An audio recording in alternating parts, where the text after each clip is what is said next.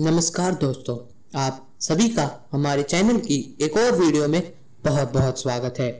मैंने आपको last video में एक एस्ट्रॉइड के बारे में बताया था, जो कि पूरी तरीके से सोना या गोल्ड से भरा हुआ था।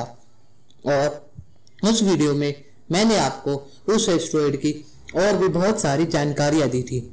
अगर आपने वो वीडियो अभी तक नहीं देखी है तो आई बटन के ऊपर क्लिक करके आप उसे जाकर देख सकते हैं। आज मैं आपके लिए वैसे ही एक और इंटरेस्टिंग वीडियो लेकिन और भी बेहतर और अच्छे कंटेंट के साथ लेके आ गया हूँ।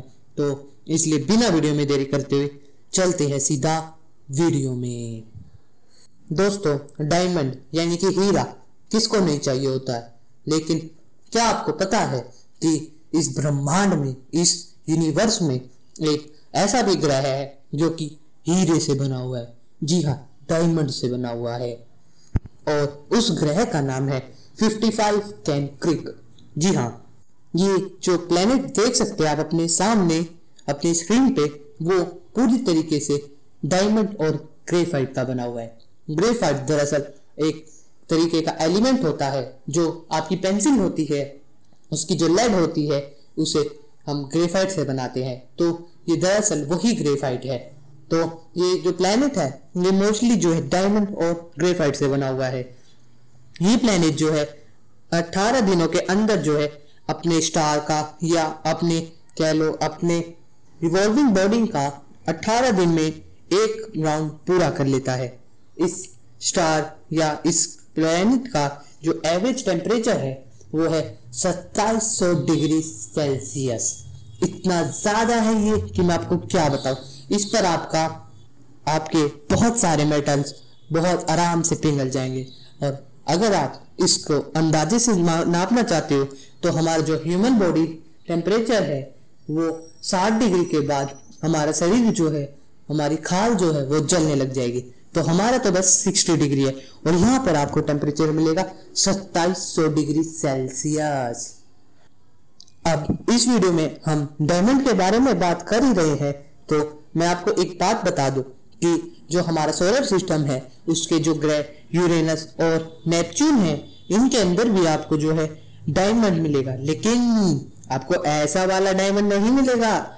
आपको मिलेगी सोलिड डायमंड रेन जैसे धरती पर जो है रेन के नाम पे जो है पानी आता है, यानी कि वाटर एच टू आता है, और आपका जो जुपिटर है, उस पर लिक्विड हीलियम गिरती है। Liquid helium. हाँ वही, जिसका एटॉमिक नंबर दो है।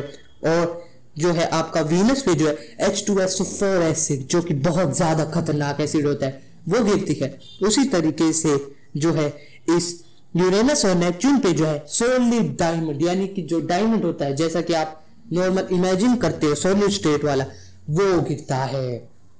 अब आप देख लो कि वहाँ पर कैसे जो है डायमंड गिरता है। तो अगर आप वहाँ पे कभी जाओ तो आपको बस जो है एक बकेट से लेके आनी है उसमें बहुत सारे डायमंड कलेक्ट हो जाएगा और फिर आप अमीर हो जाओगे।